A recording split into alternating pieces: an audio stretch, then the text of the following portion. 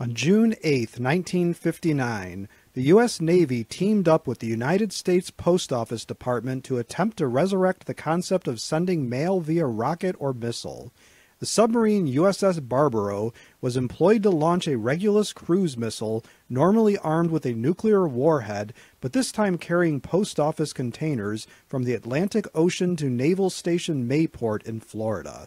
The 22 minute flight of the missile accurately delivered the commemorative mail enclosed, each piece addressed to President Eisenhower and other government officials.